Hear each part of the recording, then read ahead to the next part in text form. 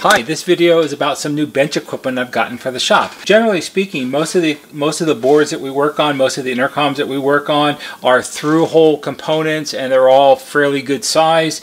And my go-to soldering iron tip, which fits in my Hakko FM 2027, which is the the, the handle for my FX 951 soldering station, is this. This is a 1.6 millimeter chisel tip and that works fine for 90% of what I work on.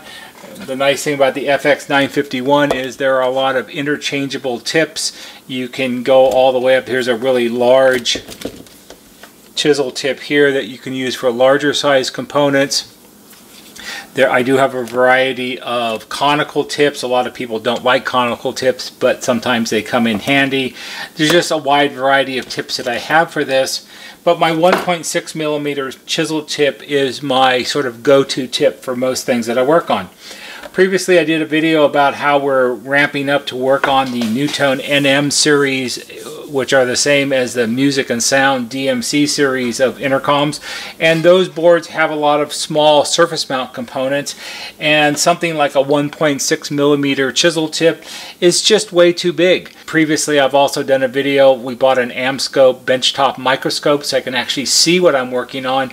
And when you're soldering the pins of say a 80 pin quad flat pack, a 1.6 millimeter chisel tip will cover three legs wide on a small microcontroller. And that's just not really good enough. It's just really too big. It's kind of like trying to solder with a 4x4 fence post. It's just way way too big. So I decided to get this. This is a Hakko 2032 this is a micro soldering pencil. And the thing I like about this is that it's compatible with my FX951 soldering station. You can plug it right in so I don't, I don't have to buy a new soldering base station. I can use the one that I have. This is designed for small surface mount work. It does have interchangeable tips just like this one does, so these just pop out. So they're quick change, easy to deal with. This is sort of the same idea. These also come out you can pull them out and they make a variety of different shapes and sizes. And not having done a lot of micro soldering before, I've never had a soldering iron this small before, I decided to start with this tip. This is a T30-DO6. This is a 0.6 millimeter chisel tip. So it's one millimeter narrower than this one and it's small enough that under the microscope on an 80 pin quad flat pack you can literally solder one pin at a time. It's that narrow and it's ideal for what we're working on. So that's a big help. Uh, I'll have a video coming up shortly where I show how to use this. Of course, when you're soldering on really small components and you're using a micro soldering pencil, you also need much smaller solder. So this is my normal solder. This is Kester. It's one millimeter, which is a good size for through-hole parts but it's way, way, way too big for something like the fine pitch of a microcontroller. Again, it's like soldering, it's like having a one inch piece of rope in there. It's just way too big. So I searched around to find out what would be a good choice, and what we ended up with was this. This is also Kester. This is 0.01 diameter. So it's one quarter of a millimeter in diameter. So it's one quarter the diameter of this stuff. It's like soldering with a little tiny piece of hair.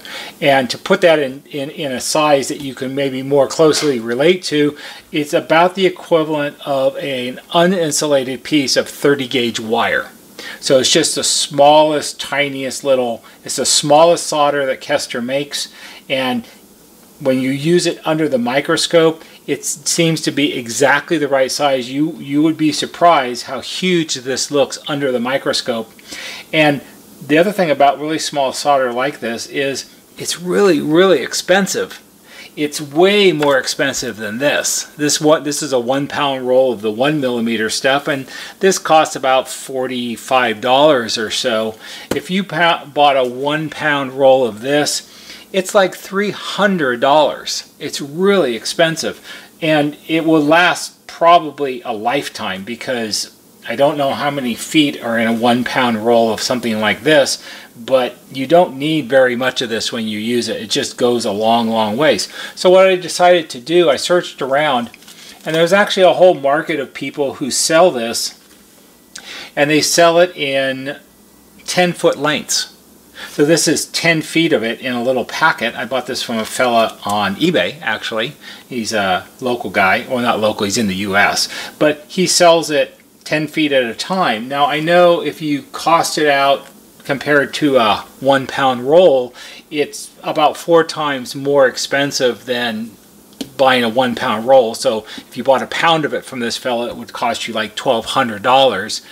But on the other hand, I don't want a pound of it. I don't want to spend $300 on a roll of solder. That's kind of silly. So I actually, and it's reasonably priced per 10 feet. So I bought, I think I bought 50 feet of it and if you buy 50 feet he throws in 10 more feet for free which that that helps a little bit. But uh, this should last a long time. I've used a little bit of it so far a little bit being out of 10 feet. I think I've used maybe like six inches of it. So it just seems like it's going to go and go forever. So it's just one of the newer things that we have my little micro soldering pencil here and I've used this a little bit so far and it seems very handy it's very lightweight it's very maneuverable so it's easy to use. The tip is a good size.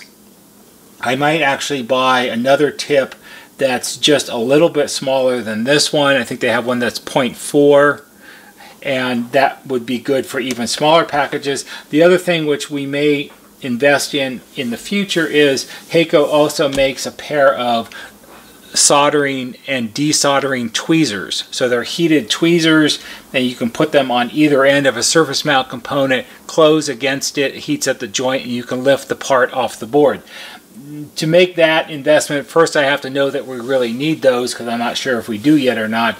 And the other thing is it requires a different soldering base station. However, they do make a base station that can accommodate the the soldering tweezers and the micro soldering pencil at the same time. It has two plugins on it. So that may be something that we get in the future. But for now, sharing the FX951 works out just fine.